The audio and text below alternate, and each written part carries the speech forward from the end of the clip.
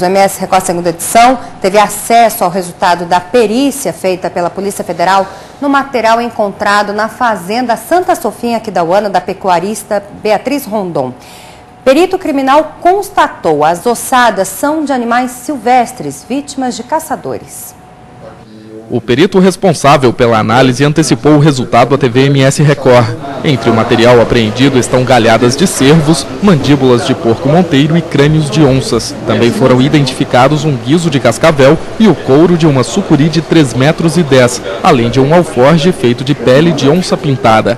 A gente utilizou características macroscópicas, é, formato de chifre, tipo de chifre, em comparação com é, dados que existem na referência biográfica reconhecida são todos animais de ocorrência aqui na, na nossa região, aqui no estado.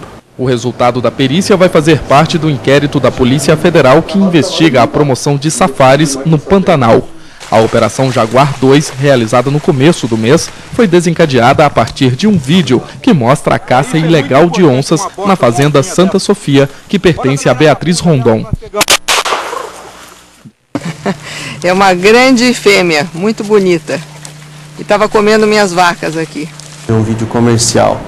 É o de 2004, um safari 2004, mas é possível que tenha ocorrido outros safaris também durante o período mais recente que também não tenham sido colocados em vídeo. Né? Beatriz também aparece nesse documentário produzido em 2005 pela BBC de Londres, ao qual a TVMS Record teve acesso.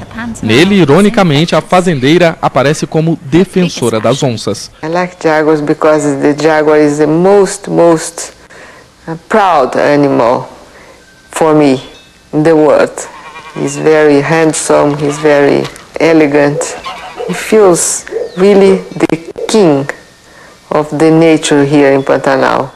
As investigações revelaram que turistas estrangeiros chegavam a pagar 30 mil dólares para participar dos safaris.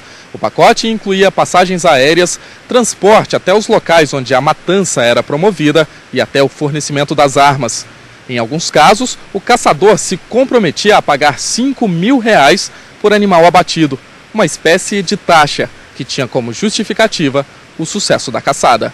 Beatriz Rondon não foi presa, apenas multada em 220 mil reais. Essa história de safari, isso aí é um conto de fadas. Isso nunca, nunca existiu. Nós já fizemos as defesas todas administrativas e temos absoluta certeza que essas multas elas não prosperarão.